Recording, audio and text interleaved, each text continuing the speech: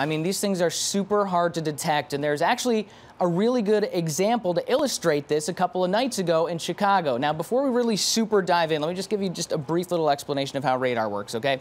Shoots out a beam. As it gets farther away from the radar site, it gets higher and higher. So you're seeing higher up in the storm. You don't get to see really the important part of the storm down at the bottom of it where the tornadoes happen. So here are all your radar sites.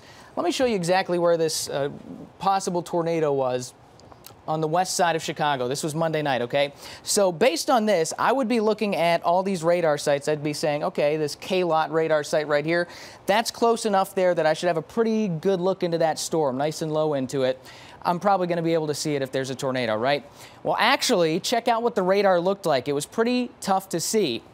And they issued a really good warning, and I'm going to show you why in just a second. But let me get rid of this. You see this here? Yeah, you can see some rotation, but that's certainly not enough to warrant a tornado warning.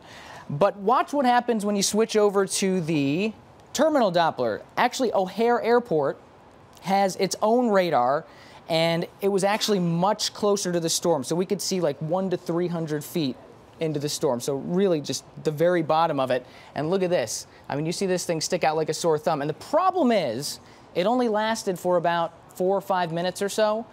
So it was extremely hard for the radar to detect. This was an excellent warning by NWS Chicago because, you know, they used the terminal Doppler over there at O'Hare. That was the only way you could see this on radar.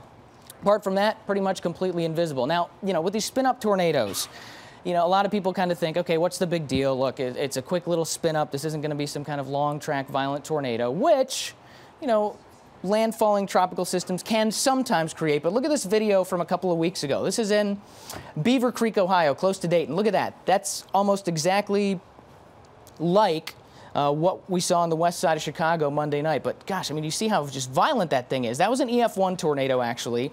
And I remember looking at the radar for that, and it looked very similar. We had another one that was over in Hawthorne, Nevada.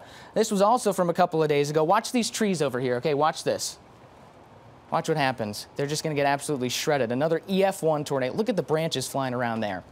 So when we talk about quick spin-up tornadoes, it is actually a pretty big deal. So you got to take these tornado warnings seriously when we get them.